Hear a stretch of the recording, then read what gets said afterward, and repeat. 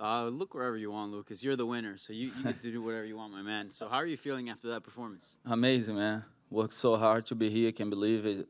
Got my first win in UFC after coming from a loss so quickly and have the time to to show who I am. But I'm so happy, man. I have no words. Yeah, it was it was a pretty dominant showing. Um, he was tough, man. D- did you were you expecting that from him? Like it's gonna be hard to finish this guy, get him out of there. It's funny. I was visualized the whole time, like try finishing him, and my coach keep telling me the whole camp, man, he's gonna be there. You know, he's gonna keep coming forward, and as soon the fight start, and I keep landing my punch, and he keep coming forward. I start to like, all right, cool. I need to be patient, take my time, and that's it. And the performance itself, are you happy with how you felt in there, how you performed, everything about it? Yeah, man, of course I'm happy, you know. Uh, past eight weeks, my coach put me through hell, you know. Try taking my soul of my know, camp, wrestling, you know, uh, conditioning workout, pad workout, sparring, try push, try take the best of me. So I'm so happy with my performance. Definitely, um, I have to go back watch because I know I did a couple things wrong, like we always do it. But uh, I'm so happy with my my victory. Yeah. And uh, you mentioned you had a loss there in your UFC debut, so you came back here, got a victory. Uh, how much pressure did you have on, on you? Because you know, I mean, you know, two two zero and two in the UFC that could put you in a bad spot, right? How much pressure did you have entering this fight? Honestly, man, honest opinion, man, I have no pressure. You know, uh, I was so happy the whole time. You could probably see I was just a smile. You know, walking through the lights, see the many peoples coming from Brazil, coming from nothing. You know, I being here fighting for 15,000 people as a blessing. So I took the pressure off and just try be me, and I did it. That's why I got the dub.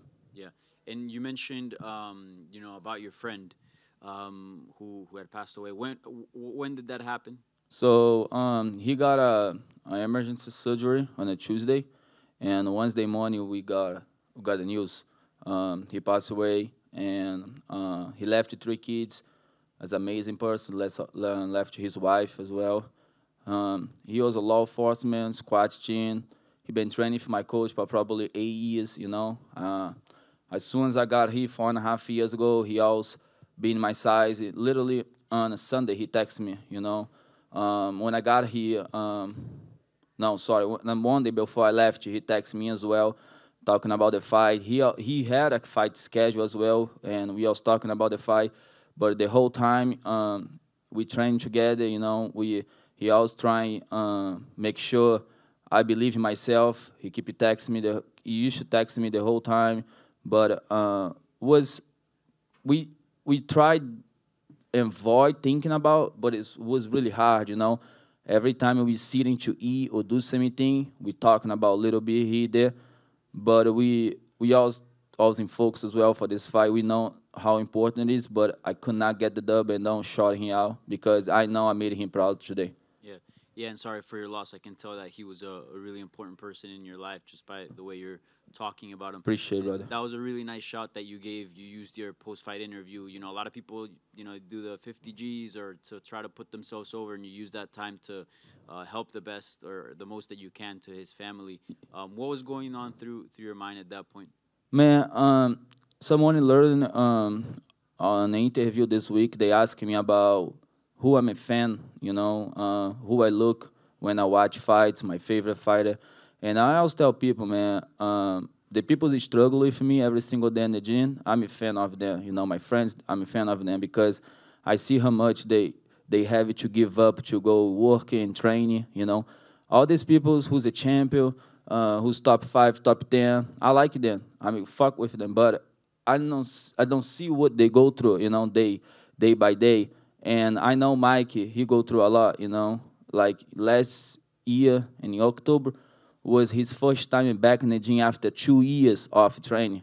And dude, I'm talking about a guy who's a black belt in jiu-jitsu, amazing wrestler, amazing striker, you know, give help to everyone at the gym as a trainer, you know. So um, the only thing I probably could do for him right now, you know, uh, show some love, show how much we will miss him, and he he can rest peace because we, we're gonna be fine, but we still miss him. Yeah, I know this is obviously all very tough, but um, in, in a way, did this whole unfortunate circumstance give you any purpose during fight week to, you know, get the dub as you mentioned, get the victory, and, and be able to have that post fight interview and be able to you know shout his name and and and kind of uh, pay pay him a tribute. Yeah, the whole time I want that, you know, I was I want to shout him out, but I was trying don't overthinking about because I feel I bring the pressure of I need the win just to shout him out. You know what I'm saying? Because I need the win because we work hard every single day, but I don't wanna get attached to just like, oh, I, I need to get the win because I need to shout him out. No, if I was lost, I still gonna shout him out. I still gonna post in my IG. I gonna still post in my Facebook and tell people about him.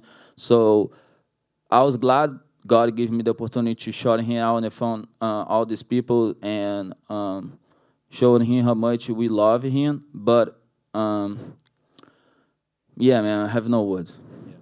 Um, I, I want to give you the opportunity. I know you did it as well inside of the cage, but if you want to, you know, plug in that uh, GoFundMe, very unfortunate situation. Yeah, of course. In my IG, Lucas Alexander, uh, UFC, you can find him, uh, his GoFundMe. And guys, uh, generosity, it can be anything. You know, it can be one dollar, it can be uh, ten thousand dollars. Doesn't matter how much you give. You know, what matters it's what you're feeling when you give. If you wanna help. So if you feel in your heart, don't feel obligation because I know it's a really, really sad situation. But if you feel in your heart and you think it's a good thing and you're gonna help someone, do it. You know, I really appreciate you, uh, appreciate your family, and I hope it, uh, God bless you and double. Well, Lucas, I, I appreciate the time and uh, congrats on the win and sorry for your loss again. Thanks so much, brother. Really appreciate it. Um, you've been in the fight game for a minute. Um, you got a victory today. Did you ever envision your life to turn out so great? Nope. no at all, brother. Um, you train in uh, Fusion you know, in Orlando, and uh, I see a lot of you guys coming up, winning on a big on a big stage. Have you feel like as a team you guys arrived, or are are you still climbing up as a team? No, we've been arrived like what three years ago, brother. We've been here this whole game. You know, my coach been training Mike Perry for a long time. You know, um, training Alex. Now we have Phil, Mike Davis. You know, Rodolfo Vieira, Riccone Jacare Souza. You know, a couple times as well. He been for the past four years training, five years training Fusion. We've been here this whole time, but we're gonna keep coming up. You know, um, you saw me today. I have like seven more guys at the gym better than me. You know, Jeremiah, Val. You know, all they seven and 0, 6 and 0. They're gonna be here soon. Bubba Jake was right there. They're gonna be here soon. And you're gonna see again another Fusion X-Cel. Yes, sir. Congrats on the win. Thank you, brother. Appreciate it.